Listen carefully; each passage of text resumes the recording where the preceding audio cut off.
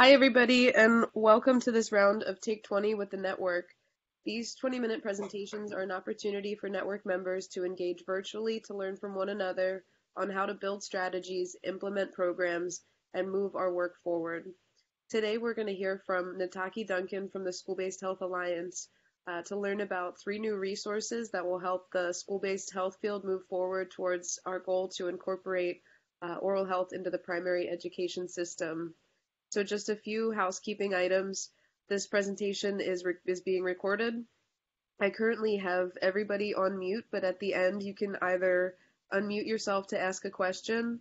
Uh, you can do that over the phone by pressing star four, or you can press um, the participants button, uh, see yourself, the audio on and off button. You can unmute yourself, or you can type your question into the chat box, which is also to the right of the Blue Jeans window. Um, so go ahead, Nataki. Great. Um, thank you, Francis, for that great introduction.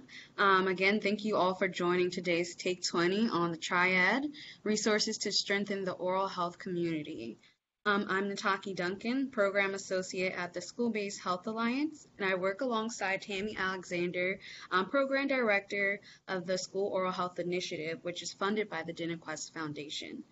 We are proud to share with the field three new resources that we developed with our partners that will be an asset to your program development and management. I can click on to the next slide. Um, during this call, we will learn the purpose and goal of the School Oral Health Resource Library, review the resource library structure and resource submission process, um, explore further um, two resources for school oral health programs produced by the School Based Health Alliance and the Oral Health 2020 Network. And I'll go um, a lot more de into detail about the development of those resources and where you can find them. So before I go on to the resources, I want to share with you all a bit more about the Alliance. The School-Based Health Alliance is the national school-based healthcare advocacy, technical assistance, and training organization based in Washington, D.C.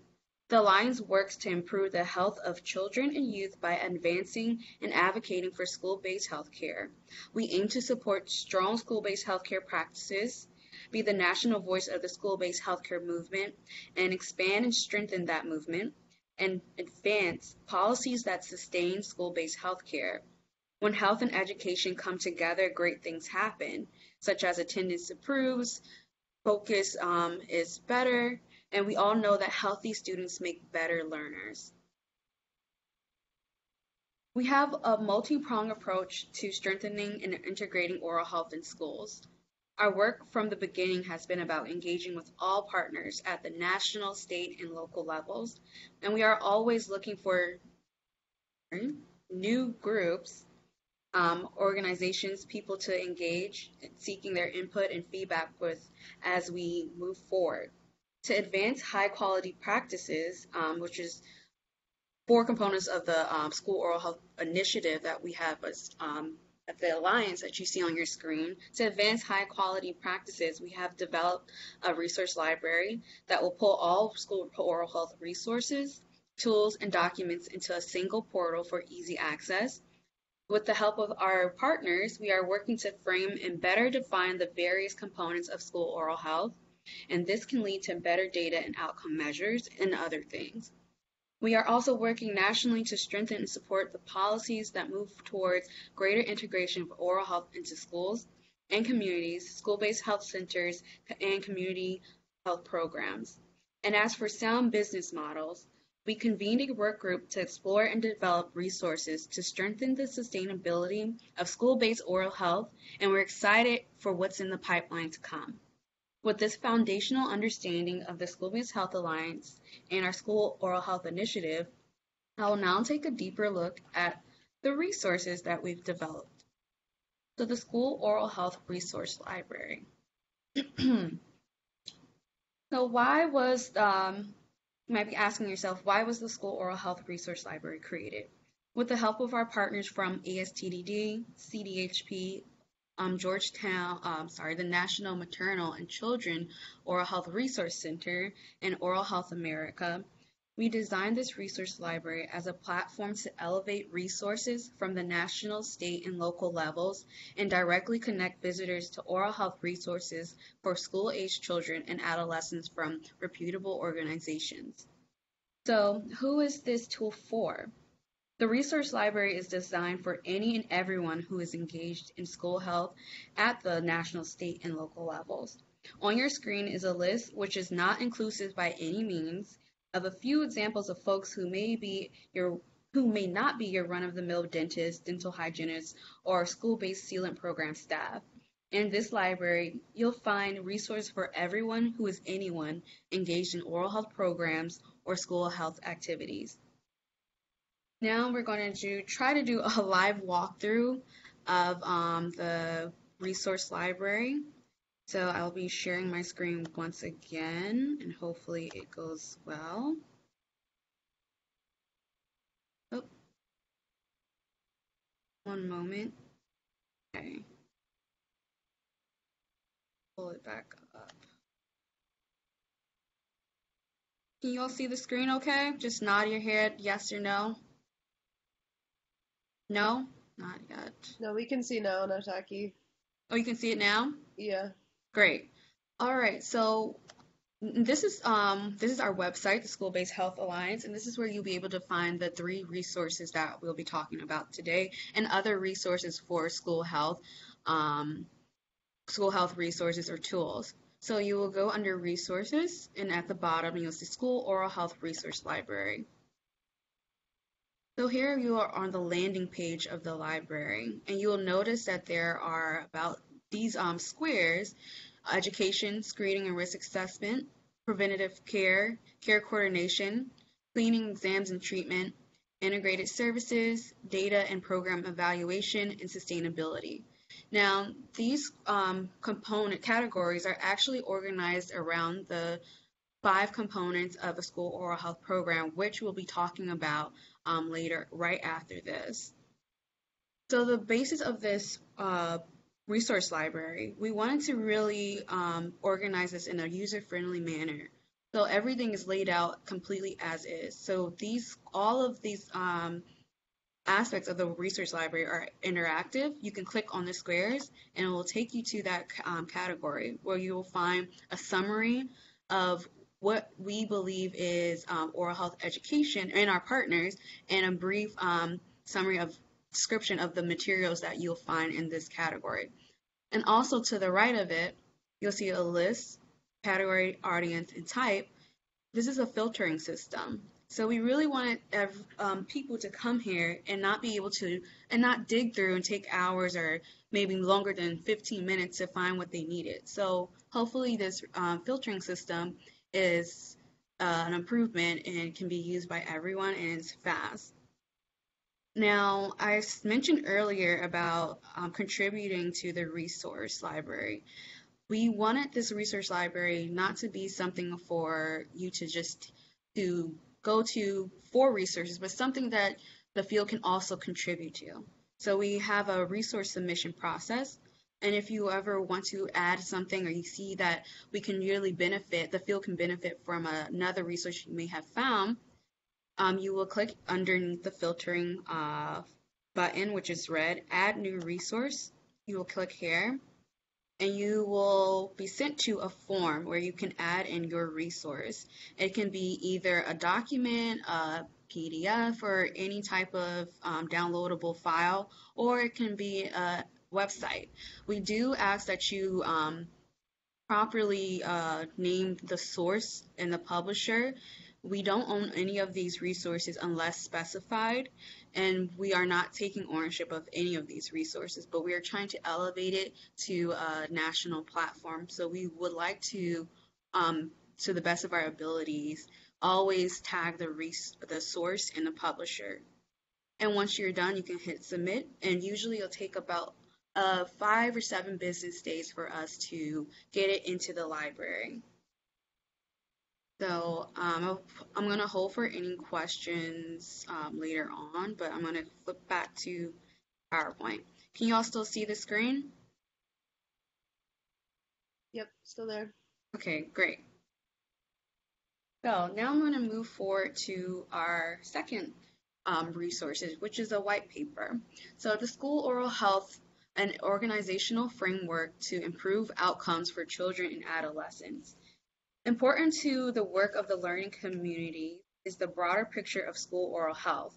In the early days of this initiative, there were many questions about the definition or meaning of school oral health. Over the past two years, a variety of partners and leaders have grappled with this, um, this question, um, defining the boundaries or framework on school oral health for children and adolescents. So, what are the key components that contribute to better outcomes for our kids? Why does this matter? It matters because we know that there's no health without oral health. We know that there are too many closed doors and not enough keys to open them for children and families to get the right care when they need it. We know that schools are a great opportunity to reach families and children and make a significant difference in the oral health of their students and um, families. So I want to spend a few minutes just talking about the development of this resource. Uh, actually, a few seconds probably would be better. So the framework was developed as a starting point to answer that question of what is oral uh, school oral health, and I'm placing an emphasis on starting point. This is no in no way a definitive um, um, framework. So the development of this resource was a truly was truly a collaborative effort and a, a lengthy process, as you all may know, when it comes to developing um, sound resources. At the first Oral Health 2020 School Goal convening in September 2016, uh, Mike Monopoli, I think you guys may have heard of him before, um, and Donna Behrens, founding director of the School Oral Health Initiative at um, the Alliance, presented a formal version of their earlier conversations on the parameters or conditions of school oral health to the group at the convening. During their session at the convening, there were breakouts and opportunities for small groups to kind of just mull on the initial language and concept and give feedback, um, challenge assumptions, and add or take away things that they felt that may not have been necessary. And this process of intentionally um, out doing outreach to the field continued. Um, with the help of our collaborators and many revisions later, we've developed five components and two supporting components of school oral health. And we are very thankful to um, the collective experience, expertise, and thoughtful advice in the many rounds of um, editing by this incredible group of oral health um, advocates and stakeholders. So, moving forward, with the um, framework. So there, as I mentioned earlier, um, these there are five components and two supporting um, components. Uh, they are the oral health education, oral health screening, preventive care, or preventive oral health care, care coordination, linkage to community-based or oral, oral health care, and oral health treatment in schools, and the supporting um, components of data collection and sustainability. So the these components really span a, um, a content, content uh, um, span a network of care that we believe are representative of school oral health. Now, what does this framework make possible for the field? The framework will drive future conversations and work around a uniform set of nationally adopted data and outcome and measures, uh, standardized practice, demonstrate impact and comparability across the field, and advance quality improvement for higher performance. This is what we hope will be um, the outcomes, the highest possible outcomes that it can achieve. And this is, of course, available. I have put links into the um, slides to so once Francis share, um, share it out with you all, that you'll be able to just directly click and go to the um, resource.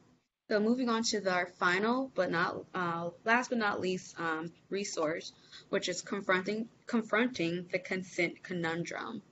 Lessons from a school oral health learning community. So we have the distinct pleasure to work with a group of innovative um, leaders in school oral health from school districts across the nation. Seven of them are from the top 10 largest um, U.S. school districts, which is New York City, LA, um, Unified School District, Chicago, Houston Independent School District, Hillsborough, Clark County, also known as Las Vegas, and Miami. And we've also had the pleasure to um, work alongside an additional eight school districts from other smaller but just as amazing um, school districts, four from South Carolina and one from New North Carolina, which is who are supported by the Duke Endowment, and a new addition of three school districts from Arkansas, sponsored by the Children's Hospital of Arkansas. Together, these school districts form the School Oral Health Learning Community. The formation of the learning community is an interesting process in itself, but I'll reserve that for another call. Um, the group is filled with diverse backgrounds and perspectives, but they all agreed that work on improving consent return rates is imperative to their work, as it is as it serves as a proxy for utilization and reflects um, other issues such as school buy-in, parent involvement, um, student engagement, and etc. Um, each team has a unique approach to confronting their consent challenge. And this uh, white paper, Confronting the Consent Conundrum, highlights the unique approaches and challenges from each team. So, while this resource, resource highlights the creativities and innovations of the learning community, it also highlights the importance and efficiency of school oral health programs to schools, families and communities. Um, it definitely shows how um, how these programs have become an integral part of the fabric of their school and community. And uh, we really did our best to interview, do intimate interviews with the learning community members to get um, their stories, collect them. Um, and other times, the data, the story collection process was more organic, such as on group calls where they shared um, stories with each other on their strategies or challenges and successes. And I think those are probably some of the best ways that you can um, get stories. So to structure the resources for dissemination, we intentionally collected and organized stories that align with the Oral Health 2020 primary drivers for the school's target, um, which can also be found on socials if you would like to take a closer look of it at it. We want to showcase um, how the learning community's work on improving consents relates to all aspects of advancing this goal to incorporate uh, oral health into schools. So uh, when you do take a look at this resource, you will find stories on school engagement, family engagement, community engagement, um, oral health education, and data collection and use. And of course, we always have more stories to share offline if, um, if you all are interested. And just to leave you all with uh, one of the quotes from the um, from this the consent conundrum um, resource. Um, this quote, just a little bit of background on it, is from our Houston team about their Tooth Fairy event that they hold for the second graders, which they uh, had adopted from um, the LA team. So there's a lot of sharing going on in between teams, and this is, of course, always okay, and we the team wel- the learning community welcomes this type of behavior. So the quote reads, picture students, all volunteers from a local high school, donning wings and wands and educating parents who have come to learn about the importance of oral health. The tactic engages older students as role models. Perhaps most importantly, it makes oral health fun for families. So of course these resources are available online and all of these are hyperlinked so you'll be able to click um, right directly to them, or you can browse through our um, our website as well to find them. And of course, I I will be uh, probably uh, remiss if I don't mention this. We do have a national school-based healthcare convention uh, coming up in Indianapolis. If you are um, wanting to learn and connect to others who are in the school-based healthcare world, that means school-based health, uh, behavioral health, mental health, um, dental, vision, all those type of things. I definitely recommend coming to this um, convention. It's from June 23rd to, to the 27th. And a part of um, that convention, we will be hosting the Oral Health 2020 School Goal Convening. It will be our third gathering of stakeholders around this um, OH 2020 goal. And of course, if you have any questions, um, please let us know. Here's our contact information. Um, we'll be happy to hear from you. And I'm not sure if there's any questions or not. Awesome. Thank you so much, Nataki. That was wonderful. Um, so we can stick around for a few more minutes. If there's any questions, you can either type them into the chat box at the top right-hand side of your screen. Uh, you can also feel free to unmute yourself um, either over the phone by pressing star four uh, or on your BlueJeans window, the audio uh, on off button is at the bottom right of your screen. And also one thing as people are um, might be typing in their questions or are thinking of one, the you can register for the convention still open. Um, you can also register for the OH 2020 School goal convening. Um, that's still open too. Um, the link will you can find the link on our on the schools um, page on socials is right there um, uh, under the banner. Just register here, or you can just email me for the link directly, and I'll be happy to send it to you. And we and have a couple questions in the chat box, Nataki. Um, Mary Foley is asking, is the whole paper available online? Um, which I'm guessing is the the white paper, the um, and the different resources that you shared. So do you want to answer that? Oh yeah. So yes, it is available. The entire paper is available online.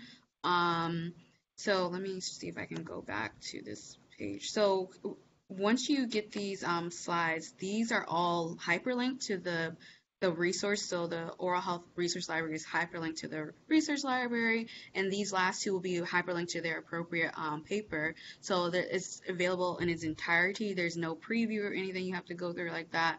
Um, so they are available online. So yes.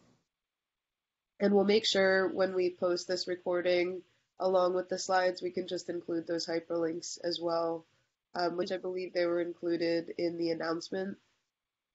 Um, and then Nataki, another question: How can one join this alliance? Oh, that's actually a great question. Um, you can always just email me and I'll get you in contact with the right person or I can do it for you. Um, we try to be a very um, efficient team here at the Alliance. Try to be a jack of all um, trades here. So just send me a quick email and I'll get you set up. Awesome. And I will make sure to include uh, both Nataki and Tammy's emails along with the notes or along with the recording for this. Um, so if there's nothing else, I just want to say thank you so much, Nataki. Uh, that was wonderful, informative, as always.